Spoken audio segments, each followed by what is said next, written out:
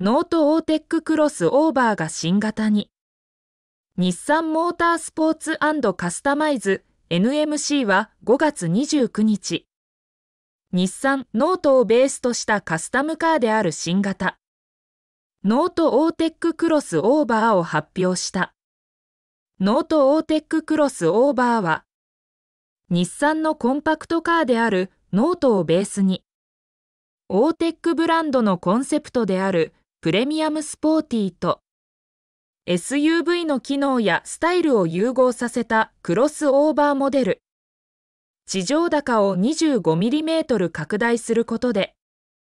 不整地や雪道などでの走破性や視界の良さが特徴となっている。また、車高を高めながらも、意のままに操れるスポーティーさや安定感などの走りも両立し、立体駐車場に収まる全高を維持しているのもポイントとなっている。デザイン一新でタフ感を強調。今回の新型では、ベースとなるノートのマイナーチェンジに合わせエクステリアを一新。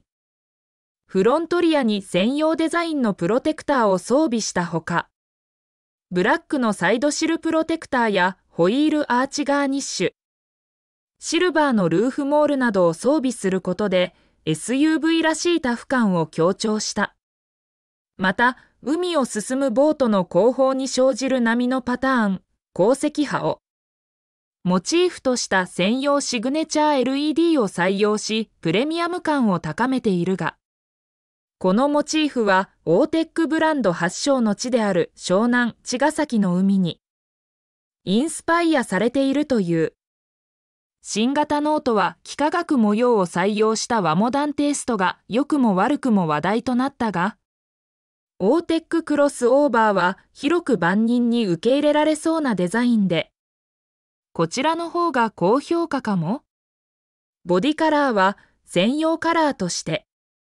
サンライズカッパーにスーパーブラックのルーフを組み合わせた2トーンカラーを設定したほか、ベース車と同様、ターコイズを新たに設定し全8色のバリエーションとした。新型ノートオーテッククロスオーバーの価格は、275万6600円 2WD と306万3500円 4WD。